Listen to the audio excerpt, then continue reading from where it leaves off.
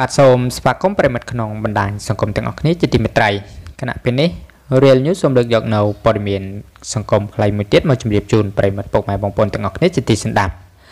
បាទដែលព័ត៌មាននេះដែរមានចំណងជើងថាកំពូលតារាចម្រៀងលោកព្រៀបសវັດដែលបានចូលបនតារាកំ pl ែងនៃសានម៉ៅនៅថាវិការចំនួនបាទយើងវិលមកតាមដានខ្លឹមសារនៃព័ត៌មានលម្អិតជាមួយកំបាត់ទាំងអស់គ្នាតែម្ដង បាទដោយដែលបងប្អូនប្រិមិត្តធ្លាប់បានទទួលជ្រាបរួចមកហើយអំពីស្ថានភាពជំងឺរបស់តារាកំ pl ែងជើងចាស់នាយសានម៉ៅដែលលោកបានជួបប្រទះនៅជំងឺច្រើនមុខណាស់មានដូចជាលើសឈាមទឹកនោមផ្អែមជាពិសេសជំងឺសួតដ៏ធ្ងន់ធ្ងរមួយដែលតម្រូវឲ្យរូបលោកត្រូវប្រើប្រាស់ឧបករណ៍មួយ ដើម្បីដកដង្ហើមតាមបងពង់កថែមទៀតផងបាទទន្ទឹមនឹងនេះដែរដោយខណៈល្ងាចម្សិលមិញនេះថ្ងៃទី2ខែតុលា នាយសានម៉ៅបានទទួលមរណភាពនៅឯមន្ទីរពេទ្យនៃខេត្តឧបលប្រទេសថៃក្នុងនោះដែរក្រុម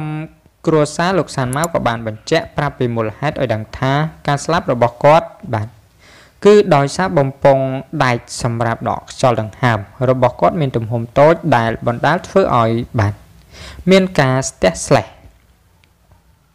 បញ្ហាមិញតកតងចំពោះដំណឹងមរណភាពរបស់នេសានម៉ៅដោយគណៈមុនីបន្តិច នារសៀលថ្ងៃទី3ខែតុលាឆ្នាំ2019នេះ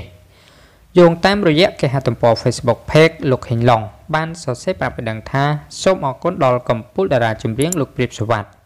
ដែលបានចូលបនសពតារាកំ pl ែងលោកសានម៉ៅចំនួន1លានរៀល